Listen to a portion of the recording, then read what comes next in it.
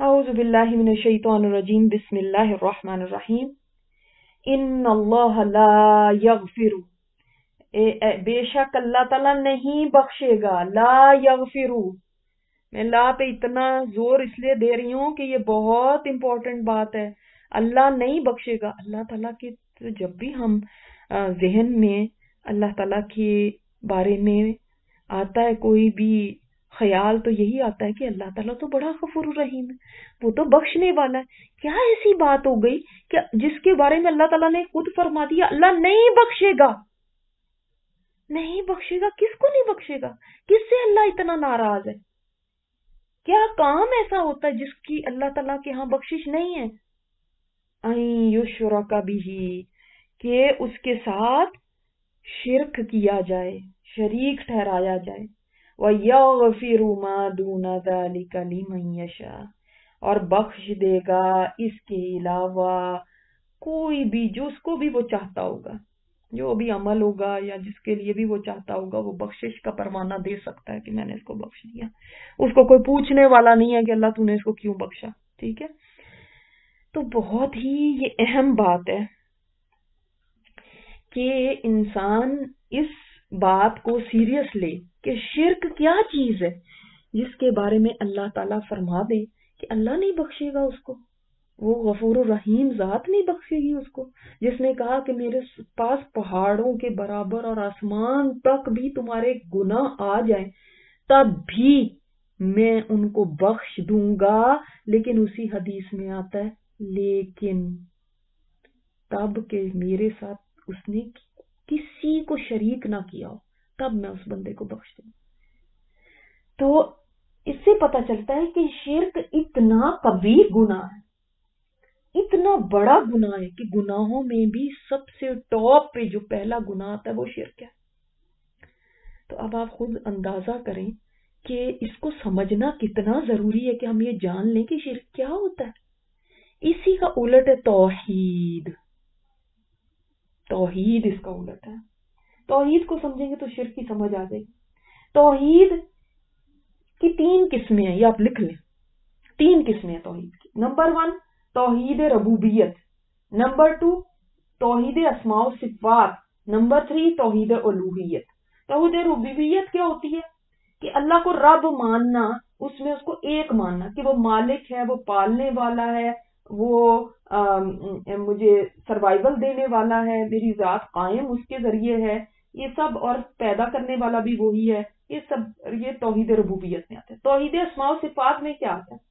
कि अल्लाह ताला ये जो सारे काम करने वाला है जो भी अफाल हो रहे हैं दुनिया में वो सारे अल्लाह ताला के हाथ में है। कोई और नहीं करता। तो असमाओ सिफात जितनी भी अल्लाह की हैं उनको मानना। और तोहीद अलूहियत क्या है? तोहीद अलूहियत असल में ये है तोहीद फिल इबादत। याद रखिए एक बात, हम सोचते हैं ना कि ये जो शिरक करने वाले हैं, ये अल्लाह को नहीं मानते। भाई, कुरान आपका कहता है कि जब इनसे पूछा जाता है कि आसमान और ज़मीन को किसने बनाया तो कहते हैं अल्लाह ने। तो फिर वो कैसे मुशरक थे? मुशरकी ने मक्का उनकी बात की जा रही है। जब वो कहा गया, जब वो बहरी जहाजों में जाते हैं समुद्रों के अंदर और तूफ़ान में उनके जहाज़ फंस जाते हैं तो फिर एक अकेले अल्लाह को पुकारते हैं। तो क्या वो अल्लाह को नहीं जानते थे? हज करते थे वो अल्लाह के घर का। लब्बईक अल्लाह लब्बईक भी कहते थे। तो क्या बात थी फिर? क्या कि, किस चीज़ के खिलाफ इस्लाम आया कि ये शिरक है और ये नहीं करो? देखें वो अल्लाह को मालिक मानते थे खालिक मानते थे। उसकी ये मानते थे कि अल्लाह काम कर रहा है सारे। लेकिन कहाँ पे गड़बड़ कहाँ थी? प्रॉब्लम फिर क्या था? प्रॉब्लम ये थी, अल्लाह के वजूद को मानने में प्रॉब्लम नहीं थी। प्रॉब्लम ये था कि वो ये कहते थे कि अब इसके बाद ये तो हमने मान लिया, मगर अब इबादत के लायक ये भी हैं।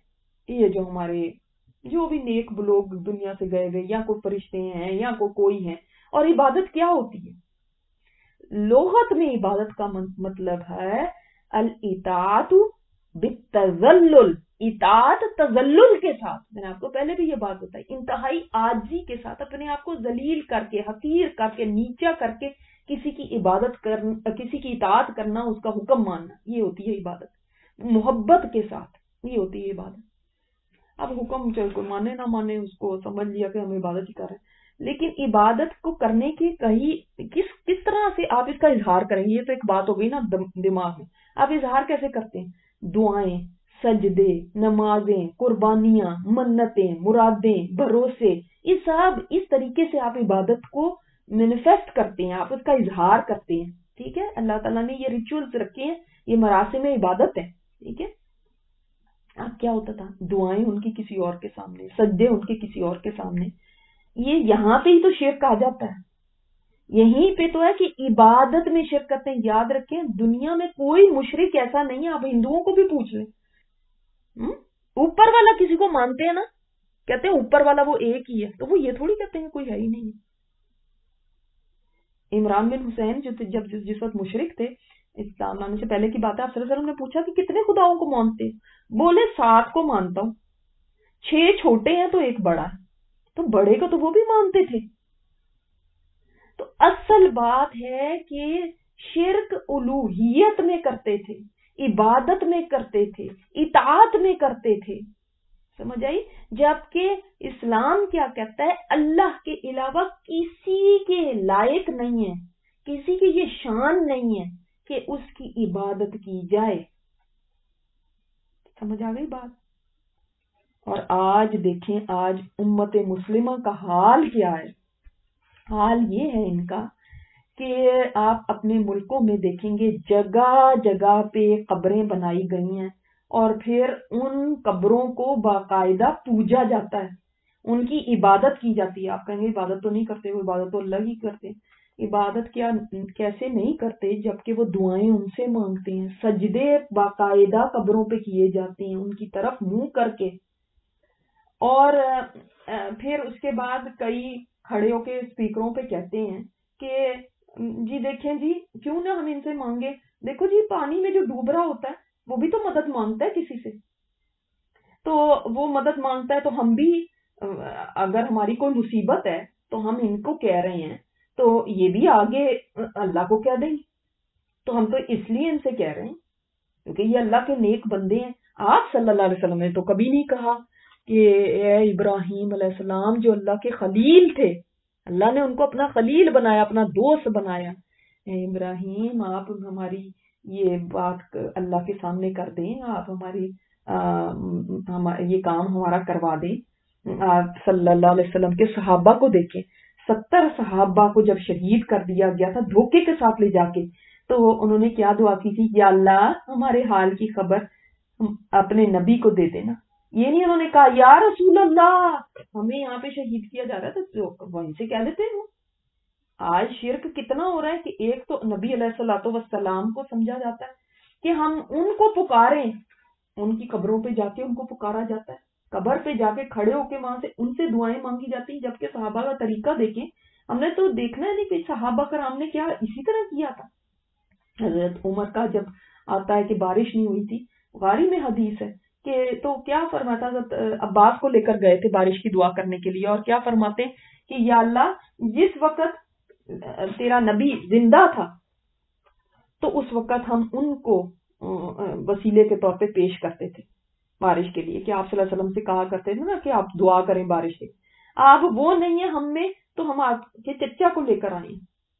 क्यों वो जाकर कबर पे क्यों नहीं कह देते थे कि या रसुल्ला आप हमारे लिए बारिश की दुआ कर दें, अल्लाह से।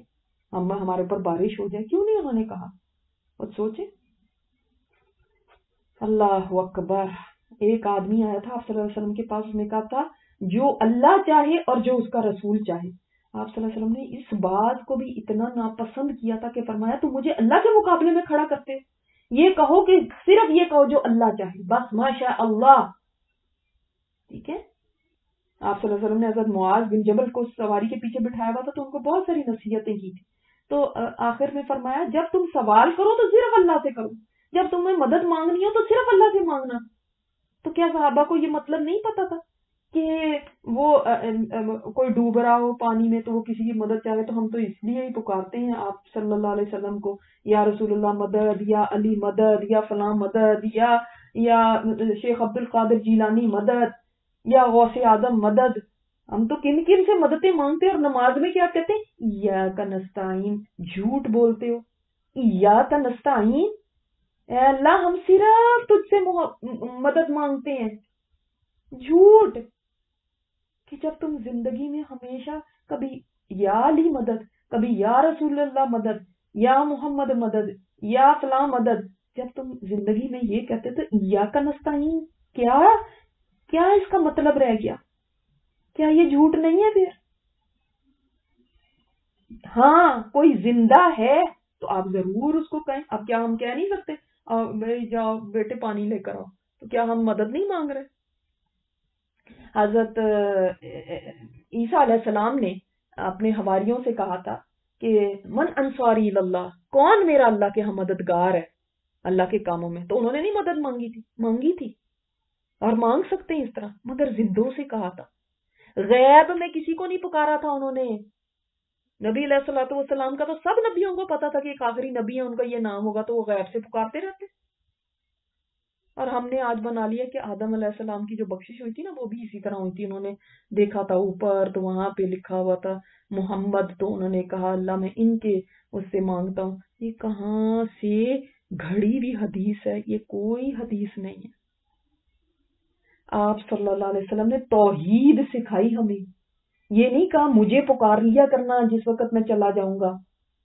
देखो, तुम मेरी कबर पे कह सकते थे ना? हाँ ये ज़रूर हमें बताया। देखिए, याद रखें, कोई बात, आप वसल्लम ने खुद फरमाया, कोई बात ऐसी नहीं जो तुम्हारी भलाई की और मैंने ना तुम्हें बताई हाँ ये ज़रूर फरमाया। देखो, दरूद पढ़ा करना, अव्वल आखिर दरूद पढ़ा करना। दरूद पढ़ोगे तो दुआएँ कबूल होंगी। तो ये भी फरमा देते थे कि मेरी कबर पे आओगे तो दुआएँ कबूल होंगी। क्यों नहीं कहा? और अभी मुझे किसी ने बताया कि वो दरियाए रावी जब पीछे हटाए तो वहाँ पे एक जनाब कबर थी नीचे। अल्लाह ताला हमें माफ़ करे कि हम कैसे लोग हैं।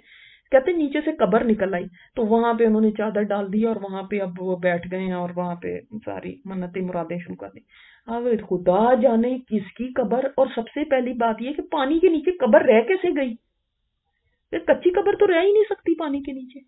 तो इतने अरसे से पानी के नीचे थी। अब वो पानी पीछे हटा तो कबर एक्सपोज हो गई और बस लोगों को मौका मिल गया, वो वहाँ पे बैठ गए। पर वो किसी बद की कमर है, किसकी कबर है, पता नहीं कौन है, इसके अंदर उसको अजाब हो रहा है कि पता भी नहीं है, मगर कबर मिल गई ना। तो बस हमारा ये हाल आज हो चुका है कि हम कब्रों को पूजने वाले बन गए, ढूंढते हैं कहीं को कबर मिल जाए। फिर कहते हैं कि हम बहुत बड़े मुहिद हैं, हम तोहीद वाले हैं। आप सल्लल्लाहु अलैहि वसल्लम दुआ किया करते थे, अल्लाहुम्मा इन्नी अउज़ुबिका उशरिका बिका शैअन अना आलम व अस्तगफिरुका माला, मालम आलम। तो आप देखें कि शिरक इतनी कबीर चीज़ है, यहाँ पे कहा गया, शिरक को अल्लाह नहीं माफ़ करेगा। तो अल्लाह नहीं बख्शेगा शिर को। क्या इसका ये मतलब है कि जिसने कभी शिरक कर लिया तो अब उसके बाद बस खत्म उसका? नहीं, बस ये मतलब है, जिसने कभी शिरक किया हो और उस शिरक में ही करते करते दुनिया से चला गया ना, उसकी नहीं कभी बख्शिश हो सकती हाँ जो अभी ज़िंदा है, शिरक करता था, कभी किया था, आज समझ आ गई है। अल्हम्दुलिल्लाह। फ़ौरन माफ़ी मांग ले, दुनिया से जाने से पहले।